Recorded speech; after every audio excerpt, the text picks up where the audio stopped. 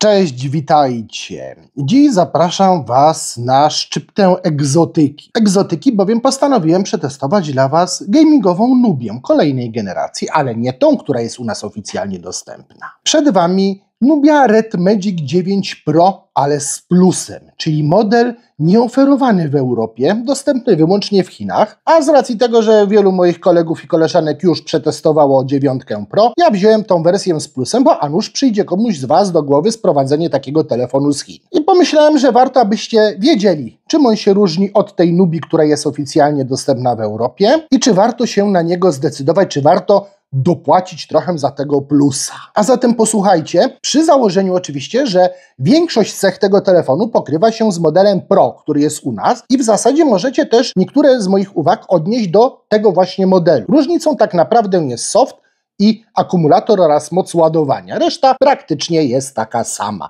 Zatem zaczynamy. Bez wątpienia mocną stroną tego smartfonu jest jego wygląd. Telefon jest naprawdę unikalny, jest duży, jest stosunkowo ciężki i ma raczej kanciasty kształt, ale przez to wygląda szykownie i no, można powiedzieć wyjątkowo. Tył jest oczywiście akurat w tej wersji przezroczysty, jest też wersja z mniej przezroczystymi pleckami w innym kolorze. Ten akurat wygląda bajerancko, ma tam różne y, podkładeczki pod spodem, wygląda to tak jakby tam był wgląd do wnętrza telefonu, ale nie, to wszystko jest po prostu tylko wizualna atrapa ukryta pod szkłem Gorilla Glass 5, z przodu też zresztą jest to szkło. Do tego oczywiście metalowa rameczka, no i niestety brak wodoszczelności, który wynika m.in. z tego, że telefon ma tutaj, jak widzicie, wentylatorek, który siłą rzeczy potrzebuje mieć wloty i wyloty powietrza no i tu niestety nie dało się tego pogodzić. Telefon nie jest wodoszczelny i to jest pierwszy jego minus. Natomiast ja ten minus mu wybaczam, bo wygląda, no przyznacie, naprawdę na bajerze. A i można powiedzieć, że jest na swój sposób elegancki. Nie jest to krzykliwy gamingowy potworek, tylko coś w takim mocno techno stylu i może się to spodobać. Ogromne i totalne wrażenie robi wyświetlacz tego smartfonu. Ma bardzo wąską i praktycznie niemalże równą, symetryczną ramkę, szczególnie tu na dole warto to docenić. Ta ramka jest naprawdę wąska i ekranu nie psuje żadna dziurka. Tu jest aparat podekranowy już kolejnej generacji, bo Nubie już od dawna mają podekranowe aparaty fotograficzne. I teraz z racji tego, że jest to kolejna generacja tego aparatu, praktycznie go nie widać. Trzeba się naprawdę mocno wpatrywać, żeby w ogóle go dostrzec, nawet jak ekran jest podświetlony na biało. Na takiej ciemnej tapecie to w ogóle tego aparatu nie zobaczycie. Naprawdę jest to bardzo fajny efekt. A jakie robi zdjęcia, no to za chwilę Wam opowiem, bo tu niestety, no cóż, tak jak się pewnie spodziewacie, szału nie ma. Ale wróćmy do wyświetlacza. Ten akurat robi szał. To OLEDowa matryca, odświeżająca obraz ze 120 Hz no niestety tu mogło też by być lepiej, no bo mamy telefony sięgające po nawet 165 Hz. No niestety ten tak nie ma, pewnie z racji właśnie tego, że tam jest jeszcze ten aparat podekranowy. Ekran ma rozdziałkę 1116 na 2480 y, pikseli i przekątną 6,8 cala. Jasność maksymalna to takie powiedziałbym mało imponujące na obecne czasy 1600 y, nitów, ale wierzcie mi, w słoneczny dzień z tego ekranu naprawdę świetnie się korzysta i słowa złego pod adresem wyświetlacza nie mogę tu powiedzieć. Ten telefon telefon naprawdę ma świetny wyświetlacz i świetny design. Jak już zapewne zauważyliście, smartfon dysponuje podekranowym czytnikiem linii papilarnych. Czytnik działa bardzo dobrze, jest położony w bardzo dobrym miejscu i chociaż ja nie lubię podekranowych czytników, co zawsze podkreślam, z tego jestem naprawdę zadowolony. Oczywiście rozpoznawanie pyśka też jest, ale ja używam czytnika, po prostu tu działa naprawdę dobrze i bardzo fajnie trafia pod palucha, więc jego położenie jest również świetne. Ale żeby nie było tak super z ergonomią, to trzeba zwrócić uwagę na to, że y, przyciski włącznika oraz głośności są nieco niżej niż w typowym telefonie, bowiem powyżej musiał się zmieścić y, wlot powietrza do chłodzenia wnętrza telefonu. No i są jeszcze triggery dla graczy. Wiadomo, to przydatny dodatek, więc musiał się tu znaleźć. Mamy jeszcze suwaczek włączający tryb growy, który powiem szczerze, że niezmiernie mnie irytuje,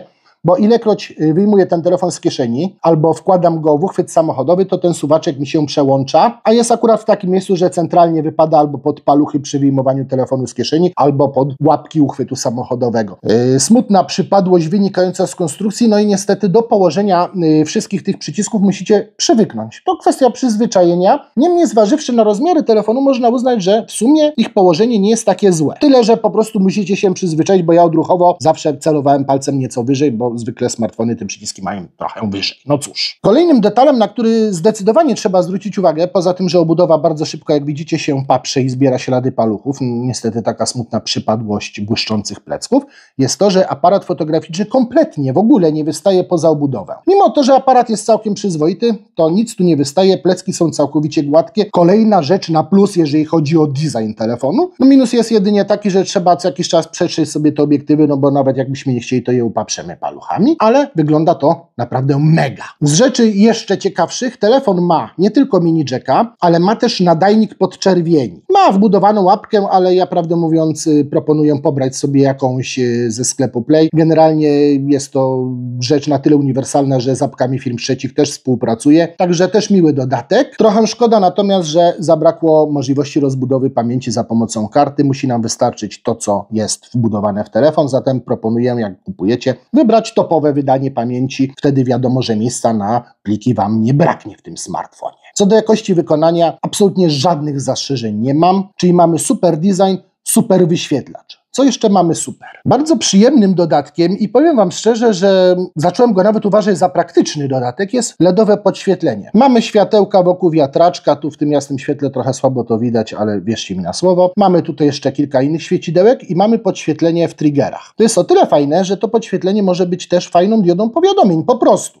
I nawet jak położymy sobie telefon ekranem w dół, to i tu mamy podświetlenie i na bokach, zatem mamy mniejszą szansę przegapienia powiadomienia. Ale to jest szczególik. Tym, co naprawdę y, wyróżnia ten telefon pozytywnie, jest jego wydajność. Oczywiście topowe flaki w środku, czyli Snapdragon 8 generacji trzeciej, dużo pamięci i to szybkich. Możemy mieć do 24 GB RAMu prawdziwego i do terabajta pamięci wbudowanej. Oczywiście rekomenduję, jeżeli tylko możecie, kupować sobie najmocniejsze wydanie, ale i to słabsze nie zawiedzie, bo słabsze ma 16 GB i przynajmniej 256 GB pamięci, które jednak dla gracza niekoniecznie będzie wystarczające wystarczające, zatem celujcie przynajmniej w 512. Nubie, które wcześniej testowałem, troszeczkę rozczarowywały mnie tym, że pomimo wentylatorka wbudowanego, trochę się grzał. Czasem to przeszkadzało mniej, czasem bardziej, ale bywał widoczny throttling, Bywał też wyczuwalny wzrost temperatury, szczególnie na ramce. No a tu, słuchajcie, niespodzianka, bo coś musieli poprawić bo ten telefon się nie grzeje. Nie grzeje się, nie trotluje, cały czas mamy bardzo fajną, wysoką, podkreślam jeszcze raz, bardzo wysoką wydajność, zatem moim zdaniem tu gracze na pewno zawiedzeni nie odejdą i jeżeli szukacie telefonu o bardzo dużej mocy, no to ten na pewno takowym jest. Ale żeby nie było tak słodko, muszę teraz wspomnieć o interfejsie, bo o ile Nubia, którą kupicie w Polsce, czyli model bez plusa, po prostu 9 Pro. Będzie miała spolszczenie, będzie miała też wgrane już fabrycznie usługi Google'a. O tyle taki sprowadzony z Chin telefon po pierwsze będziecie musieli sobie przestawić na język angielski. Polskiego nie uświadczycie, ale to akurat dobrze, bo w Nubia, które testowałem uprzednio, tłumaczenie na polski leżało i kwiczało. Tu na szczęście nie leży i nie kwiczy, na angielski jest przetłumaczone ok. No to jeszcze czeka Was po pierwsze opróżnienie telefonu, opróżnienie pamięci z mnóstwa chińskich różnych apek, które Wam nie będą kompletnie do niczego potrzebne. No i dorzucenie Google'a. To jest łatwe, daje się dorzucić. Ja to zrobię w 5 minut, także nawet myślę, że mniej wprawny użytkownik, no to ogarnie to w kwadrans, a jak nie, to pójdzie do kumpla, który mu to zrobi. Żaden problem, że nie ma Google'a. Google na tym telefonie da się zainstalować i będzie działało. Ja generalnie wszystkie usługi mam, oczywiście te, których używam, te, których potrzebuję. No ale dojeżdżamy niestety do walleta. No i tu zgrzyt, bo wallet nie działa. Telefon nie ma jakiegoś tam elementu zabezpieczeń, nie ma któregoś z certyfikatów i co ciekawe, model, który jest dostępny oficjalnie w polskiej dystrybucji, czy tam europejskiej i który testowali moi liczni znajomi z branży, też ma problemy z płatnościami. Niby wallet się odpala, niby można dodać kartę i co z tego, jak terminal w sklepie tej karty nie rozpoznaje, nie widzi. Także tutaj też problemy są. Mam nadzieję, że soft to usunie, przynajmniej w tych y, telefonach, które są dostępne w Polsce oficjalnie, bo powinno to działać. Hello! O tyle w modelu, który sobie na własną rękę byście sprowadzili z Chin, no przyjmijcie, że mm, płatności mogą nie chodzić i nigdy chodzić nie zaczną, a support ten, który się opiekuje akurat tymi wariantami chińskimi, kompletnie Wam w tym nie pomoże. Próbowałem się nawet z nimi dogadać w tak prozaicznej rzeczy, jak do instalowania usług Google. Powiedzieli, że się nie da. No ciekawe, bo mi się udało, nie? Także pod tym względem niestety ten telefon ma spory minus, nie zapłacicie. Ale cała reszta chodzi i to do tego chodzi bardzo fajnie i płynnie, a interfejs jako taki też głupi nie jest. Oczywiście jest przeładowany chińskimi apkami, tak jak powiedziałem, y, więc y, czeka Was przygotowanie tego telefonu do działania, ale jak już sobie go ogarniecie, to w samym interfejsie jakichś większych niespodzianek nie będzie. Natomiast odkryjecie kilka przydatnych rzeczy. Oczywiście wszystkie typowe gesty, wszystkie rzeczy związane z personalizacją tutaj w tym telefonie znajdziecie. Oczywiście Always on Display też jak najbardziej tu jest. I wszystko, czego się spodziewacie po Androidzie tutaj znajdziecie. Ale jest jeszcze parę dodateczków, jak chociażby znane z Motorola włączanie latarki poprzez potrząśnięcie telefonu też na przykład tutaj jest. O, i działa nawet. Z fajnych i nieodzownych w takim telefonie dodatków mamy na przykład opcje zapobiegające błędnym dotknięciom ekranu, czy to wzdłuż ramki, czy to kiedy nosimy telefon w kieszeni, czy kiedy trzymamy go przy twarzy. Warto sobie to połączyć, wtedy obsługa telefonu jest no, moim zdaniem bardziej komfortowa. Natomiast sam interfejs, tak jak Wam powiedziałem, większych niespodzianek przed Wami nie kryje. No i podkreślę jeszcze raz, w wersji sprowadzonej z Chin będziecie mieli do wyboru kilka wariantów języka chińskiego i angielski. Niestety spolszczenia tu nie ma i nie będzie, ale tak jak powiedziałem,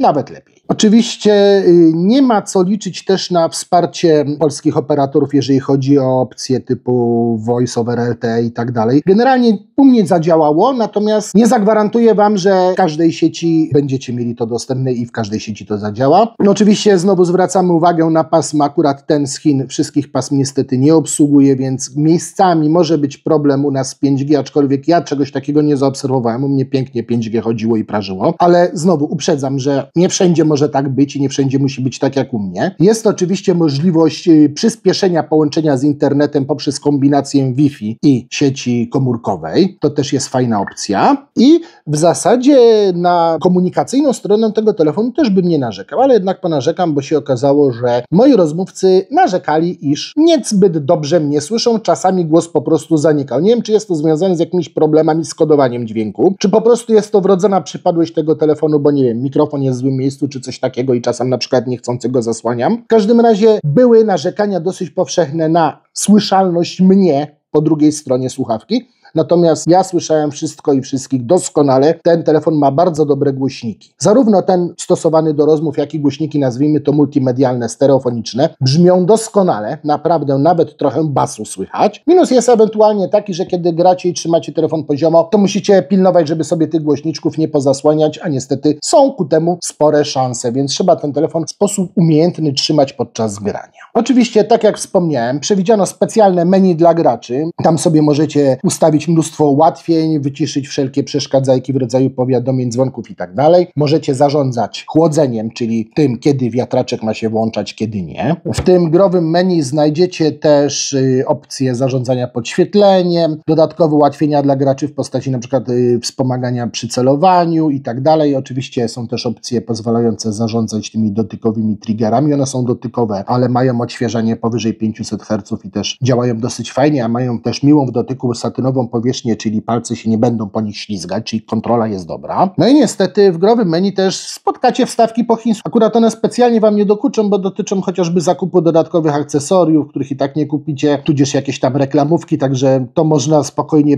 przemilczeć i odpuścić sobie. Znajomość angielskiego wystarczy, żeby z tego telefonu w pełni korzystać. Natomiast y, no, chińskie wstawki gdzieś też tam znajdziecie, no bo na przykład jest taki panel ala Google Discover, gdzie niestety jednak ślady um, tych chińskich aplikacji cały czas pozostają. Oczywiście to też można sobie dostosować w pewnym zakresie. Niemniej uprzedzam, żeby ktoś się nie przeraził, jak coś tam znowu mu wyskoczy po chińsku. No, Taka niestety przypadłość telefonu importowanego nieoficjalną drogą. No i z tą nieoficjalną drogą wiąże się też to, że kompletnie nie potrafię Wam powiedzieć niczego na temat zestawu. Oczywiście w Chinach wiem, że jest ładowarka, jest kabelek w zestawie, jest jakiś nawet pokrowiec. Do mnie ten telefon przyjechał z hoteluzem. W każdym razie, y, jeżeli kupujecie model Pro, to powinniście w Polsce też normalnie dostać ładowarkę, powinniście dostać mm, sztywnego case'a i kabelek czerwony, bardzo ładny. No i powoli właśnie przechodzimy do ładowarki i różnic pomiędzy właśnie modelem z plusem, a modelem Pro bez plusa. Ten model, który u nas kupicie, czyli Nubia Red Magic 9 Pro, ma większy akumulator, ale niestety trochę wolniejsze ładowanie. Konkretyzując, Pro ma baterię 6500 mAh, a wersja z plusem, czyli ta, która się ładuje szybciej, niestety ma tylko 5500 mAh. Ale za to ma zamiast 80W 165W ładowanie. No i tu jest ząg, bo nie miałem jak tego w pełni wypróbować, bo takiej ładowarki nie miałem. Ładowałem 120W i to był sztos. Procenty przybywały w gmieniu oka. Pełne naładowanie tego telefonu od zera zajmuje kwadrans. Przypomnę, 120W ładowarką firmy trzeciej. Także całkiem fajnie, natomiast troszeczkę niezrozumiały jest dla mnie brak indukcji. No ale trudno, nie ma to nie ma. W każdym razie y, ten telefon bez problemu jest w stanie uciągnąć jeden dzień pracy. Oczywiście tu wiele zależy od tego, jak gracie, no bo wiadomo, że jeżeli będziemy ciągle grać, no to tą baterię nadwątlimy, ale dla graczy przewidziano tutaj też bypass ładowania, czyli nie napełniamy baterii, tylko cała moc idzie od razu w telefon do tego, co aktualnie używamy, a bateria no cóż, nie spada nam poziom naładowania. Także też jest dosyć ciekawe rozwiązanie. No i oczywiście ci, którzy kupią ten telefon z Chin i zaopatrzą się pewnie w jakąś nieodzowną przejściówkę, będą mogli się cieszyć pełni tym 165W ładowaniem, które w tym momencie na moje oko to powinno baterię napełnić w dużo mniej niż kwadrans, czyli myślę, że jakieś 10 minut i będzie full. Także to jest główna różnica pomiędzy tym modelem z plusem a modelem bez plusa. Ten po prostu ma mniejszą baterię, ale za to dużo szybciej się ładuje. Czy gra jest warta świeczki? Powiem Wam szczerze, moim zdaniem nie.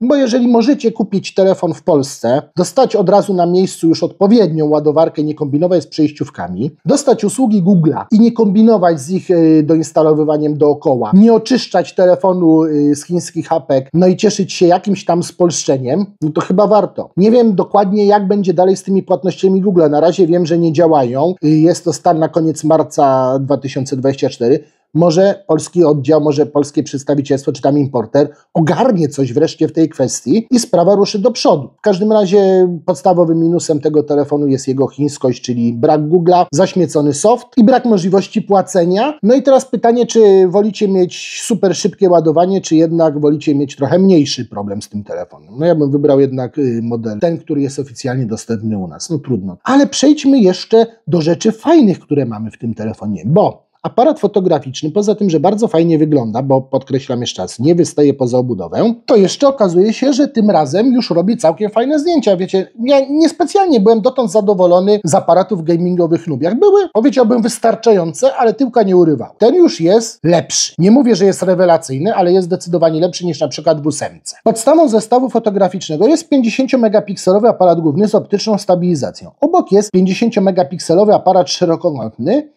no jeszcze dorzucili dwójeczkę do makro tutaj na boczku, taką już zdecydowanie mniejszą. I muszę Wam powiedzieć, że chyba po raz pierwszy w przypadku Nubina aparat w zasadzie nie narzekam.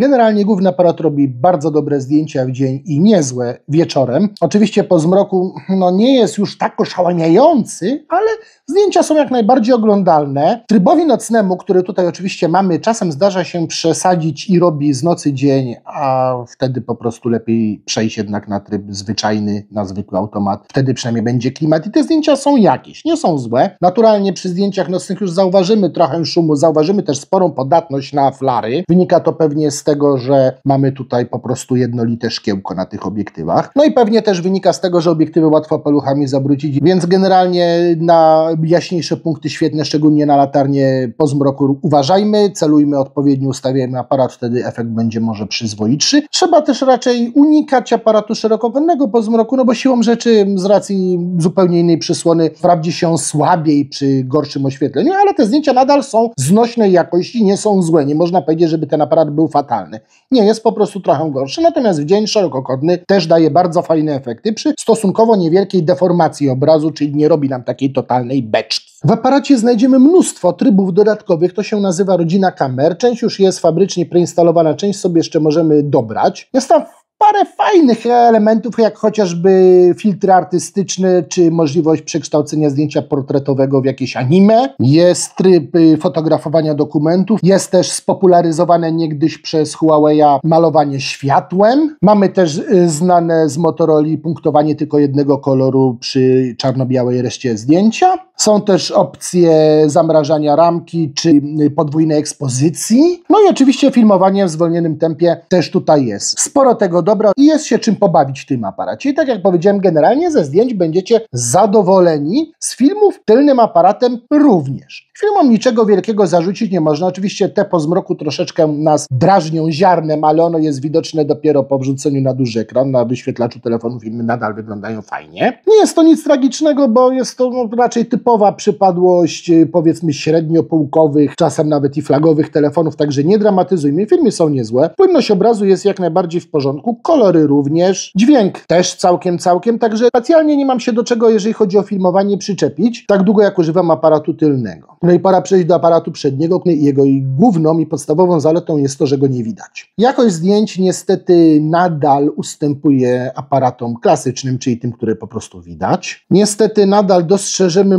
morkę. Na szczęście widać wyraźnie, że postprodukcja zdjęcia sobie próbuje z nią radzić i zdjęcia, no powiedzmy, że nadają już się do publikacji w social mediach. Są oglądalne, natomiast y, nadal zauważycie, że z tym aparatem jest coś dziwnego. No, tym dziwnym jest to, że jest pod wyświetlaczem i go nie widać. Oczywiście siłą rzeczy ten aparat już bardzo słabo spisuje się przy gorszym oświetleniu. Po zmroku, pomimo opcji doświetlania wyświetlaczem, zdjęcia są marne, a jeszcze gorsze są, kiedy w tle znajdzie się jakiś jaśniejszy punkt, bo po prostu wtedy już widać taką wyraźną morę pochodzącą od wyświetlacza znajdującego się nad aparatem, od matrycy. Widać takie gwiazdeczki. Oczywiście czasem taki efekt można uznać za jakiś tam środek artystycznego wyrazu, no niemniej musicie mieć z tyłu głowy, że to zdjęcie czasem może wyjść dziwnie. No i przed nim aparatem niestety nie filmujcie w ogóle. Po pierwsze, obraz jest słaby, po drugie, wyraźnie gubi klatki, a jeszcze do tego zauważyłem, że kompletnie rozjeżdża się synchro dźwięku z obrazem. Do zdjęć jeszcze jak Cię mogę, do filmowania kompletnie się już nie nadaje. Natomiast tylny aparat już jest jak najbardziej popitaśny i spokojnie można z niego korzystać. Jeszcze dodam na koniec, że aparat makro po prostu jest i robi swoje. Tutaj wielkiego szału nie ma, ale tragedii nadal też nie ma. Dwójeczka, więc nie wymagajmy nie wiadomo czego. I teraz pytanie, czy sobie kupić taką lubię, czy nie? Przede wszystkim, jeżeli oczekujecie telefonu, który bardzo fajnie wygląda, robi przyzwoite zdjęcia, przynajmniej aparatem tylnym, oferuje bardzo wysoką wydajność, szybkie ładowanie i do tego ma świetny ekran i przyzwoite, naprawdę przyzwoite głośniki, to możecie sobie taki telefon sprawić. Z minusów oczywiście brak na tą chwilę możliwości płacenia tym telefonem. Dyskusyjna sprawa dźwięku zbieranego przez mikrofony i przesyłanego do naszego rozmówcy. No i oczywiście sprawa softu, no ale to wynika z tego, że telefon jest spoza oficjalnej europejskiej dystrybucji, zatem no nie zapisuję tego konkretnie jako wadę, natomiast o tym wspominam, żebyście ewentualnie wiedzieli, gdyby przyszło Wam do głowy sprowadzenie modelu z plusem z Chin. Ale tak jak powiedziałem, sprowadzanie wersji Pro Plus niekoniecznie ma sens, bo zyskujecie jedynie szybsze ładowanie względem tego, co jest w Polsce. Natomiast w takim cudzysłowie zyskujecie też konieczność ręcznego doinstalowania pakietu Google, co nie dla każdego oczywiście musi być proste, łatwe i oczywiste.